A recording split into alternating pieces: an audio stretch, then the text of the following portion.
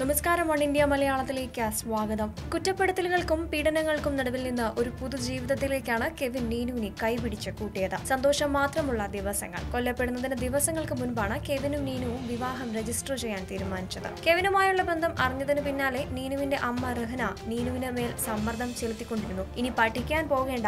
നിന്റെ വിവാഹം ഉടൻ നടത്തുമെന്നായിരുന്നു നീനുവിനെ രഹ്ന ഭീഷണിപ്പെടുത്തിയത്. ഇതോടെയാണ് കെവിനൊപ്പം ഇറങ്ങിപ്പോകാൻ നീനു തീരുമാനിക്കുന്നത്. വിദേശത്തായിരുന്നു നീനുവിന്റെ മാതാപിതാക്കളായ രഹനയും ചാക്കോയും ജോലി ചെയ്തിരുന്നത്. അവർ നീനുവിനെയും സഹോദരൻ ഷാനുവിനെയും ചാക്കോയുടെ അച്ഛനൊപ്പമായിരുന്നു നിർത്തിയിരുന്നത്. സന്തോഷം നിറഞ്ഞതായിരുന്നു ആ ദിവസങ്ങളെന്ന് നീനു ന്യൂസ് മിനിറ്റിന് നൽകിയ അഭിമുഖത്തിൽ പറയുന്നുണ്ട്. എന്നാൽ നീനു അഞ്ചാം ക്ലാസ്സിലായപ്പോഴേക്കും രഹന നാട്ടിലേക്ക് മടങ്ങി. ഇതോടെ രഹനയും നീനുവും ഷാനുവും മറ്റൊരു വീടെടുത്ത് മാറി. ഇതോടെ കാര്യങ്ങൾ തകിടം മറിഞ്ഞു തുടങ്ങി. പിന്നീട് അങ്ങോട്ട് സന്തോഷം എന്താണെന്ന് അറിഞ്ഞിട്ടില്ലെന്നാണ് നീനു പറയുന്നത്. എന്നും വഴക്കും ബഹളവും മാത്രമായിരുന്നു വീട്ടിൽ. അയൽവാസികളെല്ലാം വീട്ടിലെ അന്തരീക്ഷത്തെ പരിഹസിച്ചു. പരിഹാസമോർത്ത് പുറത്തിറങ്ങാൻ പോലും മടിയായിരുന്നു. മാതാപിതാക്കളും സഹോദരനും നിരന്തരം പീഡിപ്പിച്ചുകൊണ്ടേയിരുന്നു. പീഡനത്തിൽ നിന്നും രക്ഷ തേടിയാണ് കോട്ടയത്തേക്ക് നീനു പഠിക്കാൻ എത്തുന്നത് അങ്ങനെ കോട്ടയം ബി കെ കോളേജിൽ ജിയോളജി പഠിക്കാൻ എത്തിയപ്പോഴാണ് കെവിനെ നീനു പരിചയപ്പെടുന്നത് നീനുവിന്റെ സുഹൃത്തിനെ കാണാൻ എത്തിയതായിരുന്നു Kevin. K S R T C bus സ്റ്റാൻഡിൽ വെച്ച സുഹൃത്ത് ഇരുവരെയും പരിചയപ്പെടുത്തി. ഇടയ്ക്കിടെ അവർ ഫോണിൽ സംസാരിച്ചു. ഇടയ്ക്ക് എപ്പോഴോ ഇരുവരുടെയും സംസാരത്തിന്റെ ദൈർഘ്യം കൂടി. കെവിനാണ് ആദ്യമായി നീനുവിനോട് പ്രണയം പറയുന്നത്. എന്നാൽ തന്റെ വീട്ടിൽ അറിഞ്ഞാൽ കാര്യങ്ങൾ വഷളാകുമെന്ന് ബോധ്യമുള്ള നീനു കെവിനോട് കാര്യങ്ങൾ തുറന്നു പറഞ്ഞു. എന്നാൽ ആരെയും ഭയക്കേണ്ടെന്നും ആരൊക്കെ എതിർത്താലും നീനുവിനെ സ്വന്തമാക്കുമെന്നുമായിരുന്നു നീനുവിന് കെവിൻ വാക്കുകൊടുത്തത്. നീനുവുമായി പ്രണയത്തിലായതിനു ശേഷമാണ് കെവിൻ വിദേശത്തേക്ക് ജോലി തേടി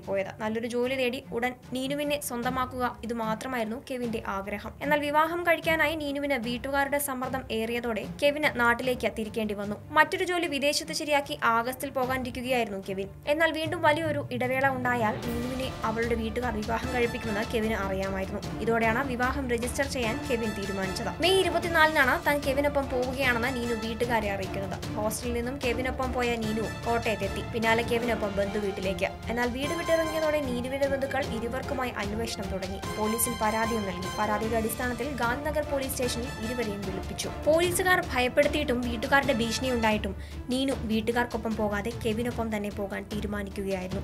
കെവിന്റെ വീട്ടിൽ അമ്മയ്ക്ക് സുഖമില്ലാത്തതിനാൽ കെവിൻ നീനുവിനെയും കൂട്ടി കോട്ടയം അമ്മഞ്ചേരിയിലുള്ള ഒരു ഹോസ്റ്റലിൽ നീനുവിനെ താമസിപ്പിച്ചു.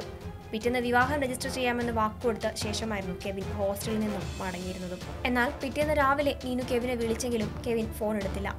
കാത്തിരിപ്പിനൊടുവിൽ കെവിന്റെ ജീവനറ്റ ശരീരമായിരുന്നു നീനുവിന് ലഭിച്ചതും. മകളോടുള്ള സ്നേഹമല്ല അവരെ കൊണ്ടത് ചെയ്യിപ്പിച്ചത്. കെവിന്റെ ജാതിയും സമ്പത്തും തന്നെയായിരുന്നു അവരുടെ പ്രശ്നം. ഭൂമുഖത്ത് നിന്ന് ഇല്ലാതാക്കുമെന്ന ചെറിയ സൂചനയെങ്കിലും കിട്ടിയിരുന്നെങ്കിൽ തങ്ങൾ ദൂരേക്ക് എവിടെയെങ്കിലും പോയി ജീവിച്ചേനെയെന്നും നീനു പറയുന്നുണ്ട്. News desk one India Malayalam.